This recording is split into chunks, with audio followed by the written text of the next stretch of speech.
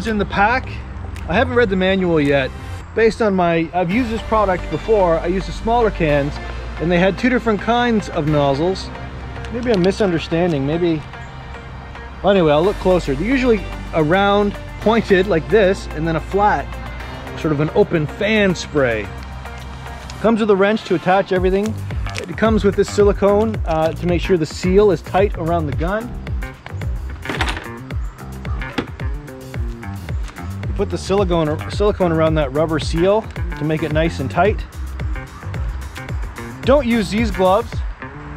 These gloves are good for about five minutes. And then the moment you, grab a stud, it puts a little hole in it, or you grab the ladder, it puts a hole. These just wear through very quickly and you're gonna get this stuff all over your hands. So use some cheap construction gloves. You'll see me suited up in a minute. Uh, I'm gonna wear a full outfit, head to toe, uh, vapor mask, not particle mask, vapor mask. I'll explain that later and my shoes, everything, windows will be taped off. You see the blue foam in there? I'm gonna put that in the uh, rafters, in between the rafters, at the top of the ceiling, just because it's an R10, takes up a good chunk of space. Those are two by eights up there. Yeah, it's gonna be fun. I'm leaving the tanks outside right now to heat up. I've made it, well, I've made it. I've waited for the weather to be raining all the way up until now, and then raining hmm, this, later this afternoon, evening, so that we have a high humidity of about 80 to 90%. It's warm, it's about 23 degrees Celsius right now. The warmer the better. You don't want them so hot that they explode, obviously. Uh, but humidity is huge and temperature is huge. This is glue, right? It's expanding glue that we call insulation. So if I got these on, I got that on these glasses, I'd be in a lot of trouble. Comes with a DVD uh, hi, 1990 called. They want their DVD player back. I'm not sure why they include that. Go online, watch the YouTube videos. I've got a safety data sheet, which will be unintelligible to me. Oh, yep. Uh, that's actually interesting. Headache, coughing, dizziness, that drives home just how serious this stuff is. It's so humid, the paper feels humid. That is awesome. Let me go back up in the attic, finish the, the styrofoam, extruded poly, what is that called? Extruded, it's called something, extruded something. Two inches of that is an R10. So by getting an R10, one inch of this stuff is about an R6. So if I can get two inches on top of that foam, we're looking at 22, an R22. Each one of these is 45 pounds. So this is 90 pounds-ish of foam. I got 180 pounds of foam. It says it goes to 600 board feet. A board foot is one inch by one foot by one foot. The cabin itself is 8 by 12, so let's say it's 10 by 10, just to make it easy. So 100 board foot. So if I was doing just one inch on the floor, I should be able to do six inches total just on the floor with one of these kits. So in your head, you're trying to imagine a wall, a wall, a wall, and an attic space, which is not an attic space, it's a loft space. Will I be able to get two inches in the whole thing?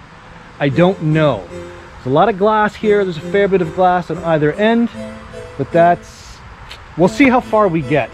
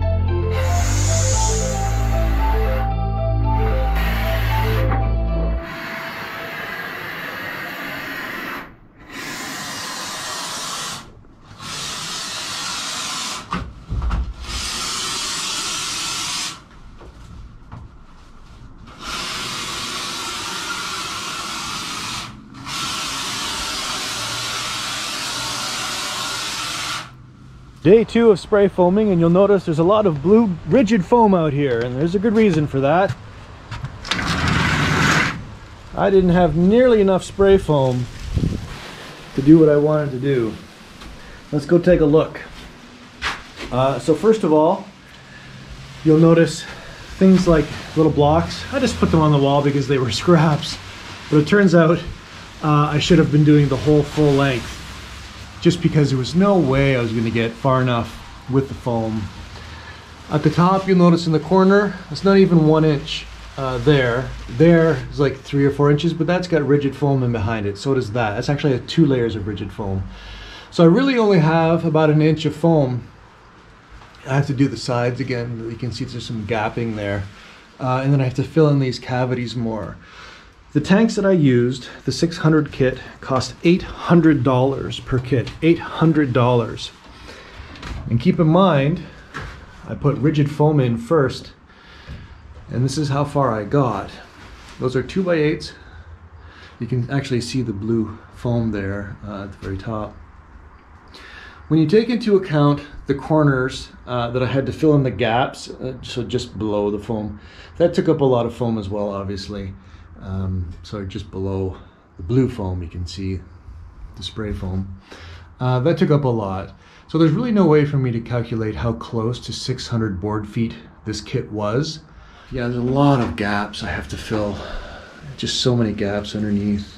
Um, you can see it's not even one inch in these pockets. So I'm gonna have to fill everything with the rigid foam and then seal it with the spray foam.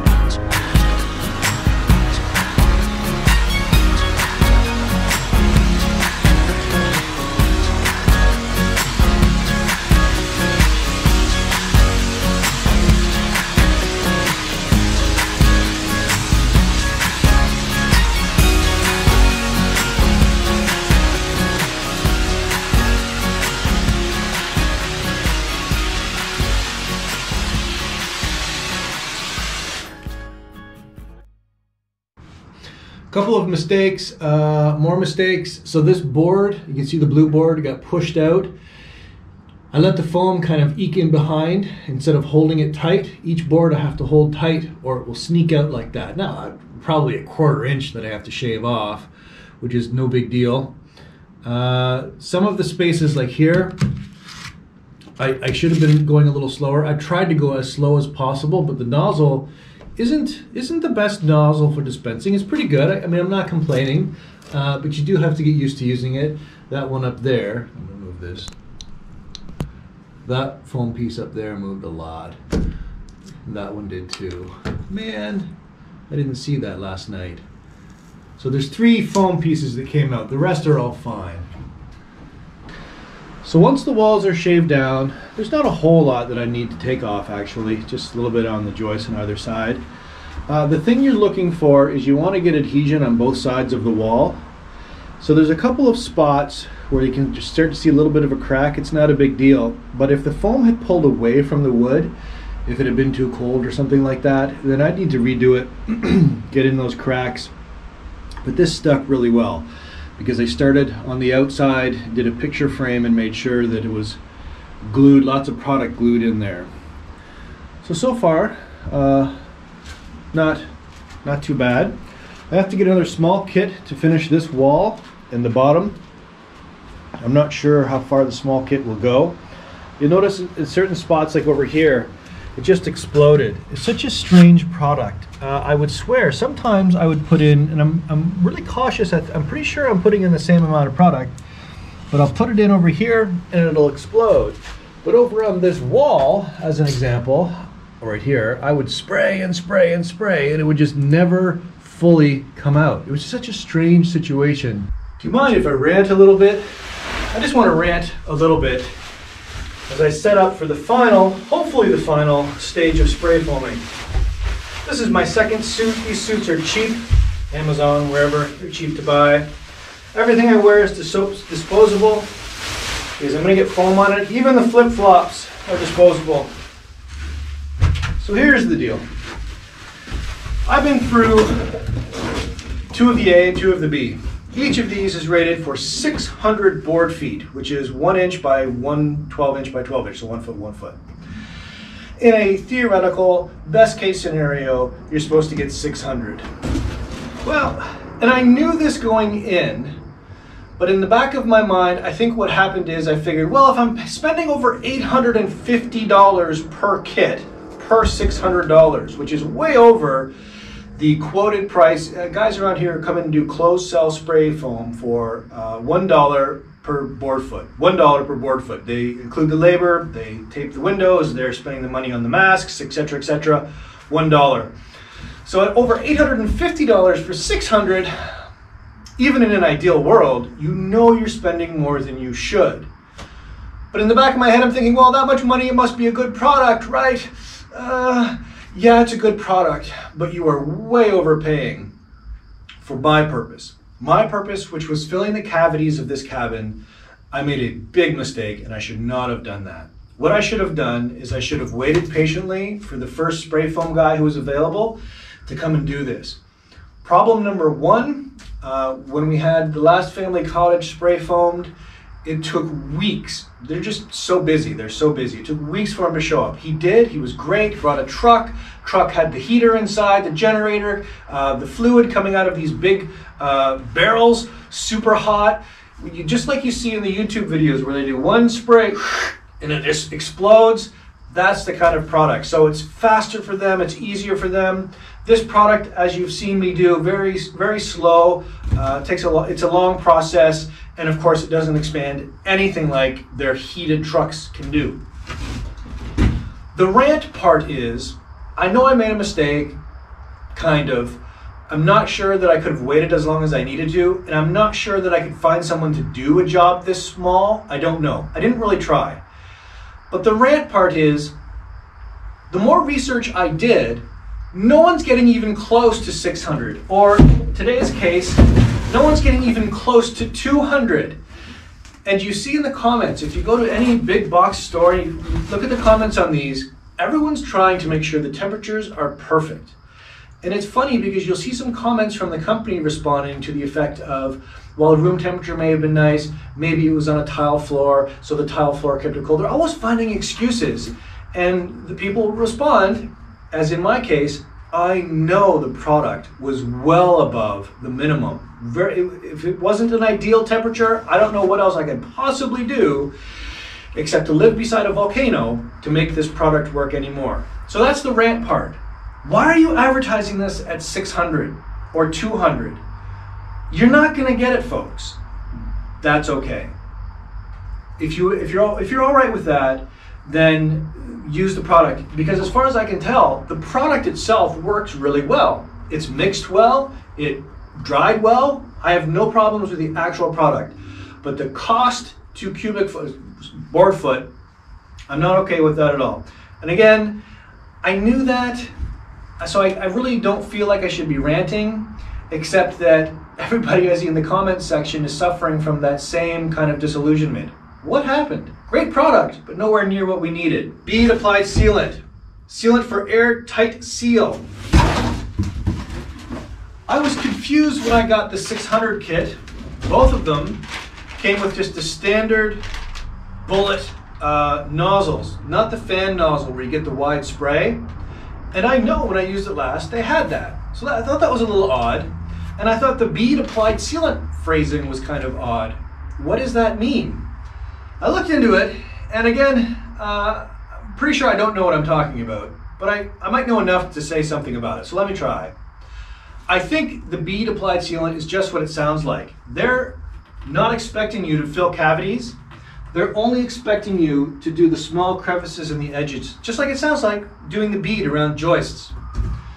I thought that was odd too, until I heard that, in fact, code in Canada, if you have a two canister system, which these are, you're not allowed to be spraying full cavities. Why? I have no idea. Is that still true? I don't know. But that would explain, if it is still true, why they changed out the nozzles, why they put the phrasing on the front, and maybe that even explains why the footage isn't nearly what we think it should be because maybe doing a bead sealant gives you more footage somehow? I, I don't know. I really don't know. Wait, I'm not done the rant. Let me just rant a little more.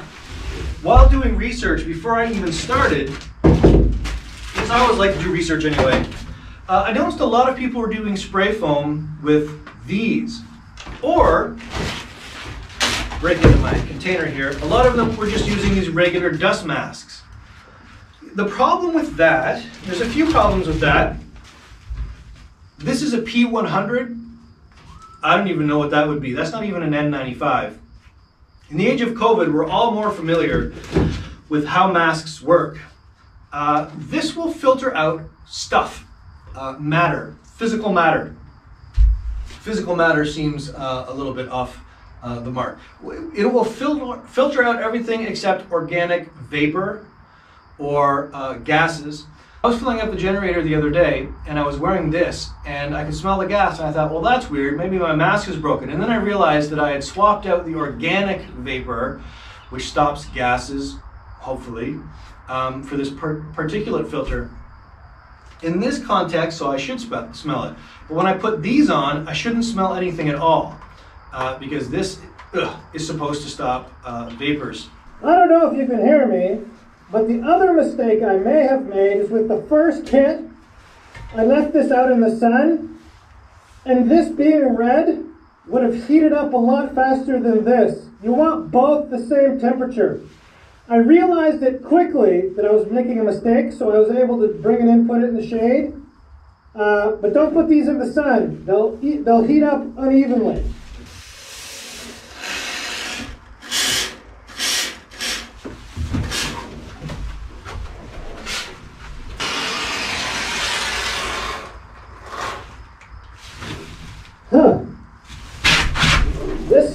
behaving differently. Yeah, this is way different.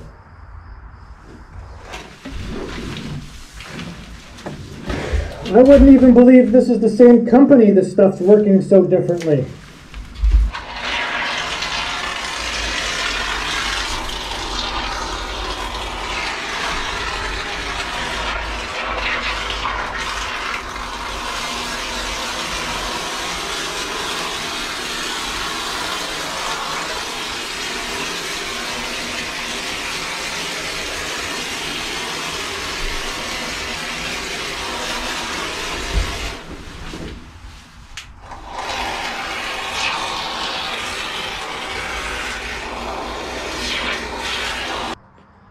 All right, if you thought I was ranting before, I'm just outright pissed right now. And why? Because that kit worked. The 200 kit filled every bay, and I was looking for places to put the foam after. Look at that, right out the 2x4s. It kept going and going. I'm going to say this, and people will doubt it, but there are only two differences between the two 600 packs and the one 200 pack. Obviously, this is the same company, the same product, it's different cans. The first is that it was two or three degrees cooler today at the high point than before. At most, two degrees, two or three degrees at most. The humidity is the same. Even the wind, there's no wind right now. The second thing that I didn't realize was that the 600 pack expired in about two months. This one expired in about a year. Old foam doesn't friggin' work.